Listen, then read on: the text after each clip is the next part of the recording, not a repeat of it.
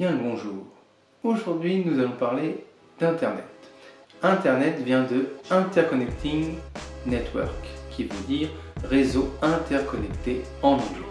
Internet est apparu aux yeux du monde entier dans les années 1990. Il permet de relier tous les ordinateurs du monde entre eux.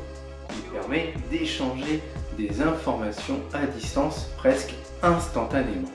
Ces informations circulent grâce à des satellites, des antennes, mais surtout des câbles sous-marins. Ce sont de véritables autoroutes des informations. Elles passent sous les océans. Sur Internet, les informations ou les données sont stockées sur des serveurs. Elles passent d'ordinateur en ordinateur grâce au routeur.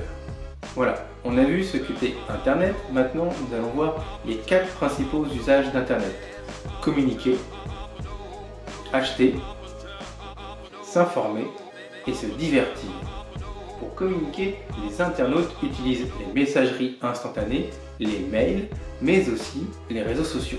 Un peu plus d'un tiers des Français utilisent les messageries instantanées.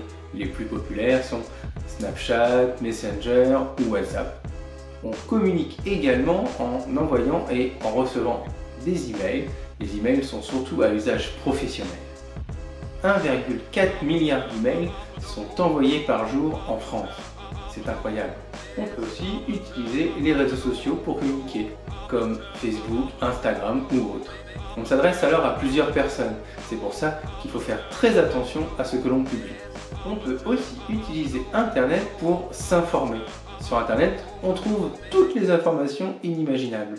Pour cela, dans son navigateur, on utilise un moteur de recherche il faut faire une recherche par mots-clés dans son navigateur, que ce soit Chrome, Firefox ou Safari par exemple. Pour s'informer, on peut aussi aller sur les versions numériques des grands journaux. Fais attention, car sur Internet, tout le monde peut publier du contenu, même toi, en créant un blog. C'est pour ça qu'il faut toujours vérifier ses sources et faire attention aux fake news. Sur Internet, on peut aussi faire des achats sur les grands sites comme Amazon, Rakuten, La Redoute, etc. Les produits culturels et ceux de loisirs sont les plus achetés, mais l'alimentaire fait une belle percée. L'intérêt d'Internet est qu'on y trouve souvent des prix bas et des livraisons gratuites, ce qui attire beaucoup de monde.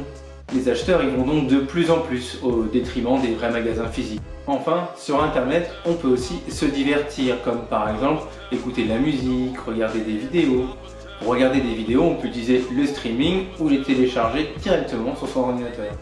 Dans ce cas, il faut faire très attention aux droits d'auteur et ne pas tomber dans l'illégalité. Pour les plateformes de streaming les plus célèbres sont Netflix, Amazon Prime.